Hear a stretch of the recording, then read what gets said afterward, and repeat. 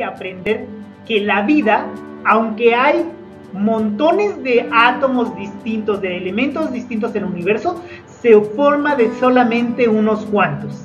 Y aprender a reconocerlos nos sirve para saber para qué sirven.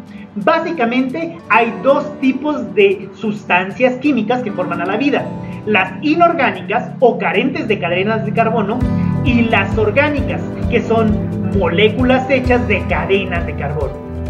Las inorgánicas son normalmente moléculas pequeñas que pueden ser como el agua, sales minerales, algunos gases, ¿sí?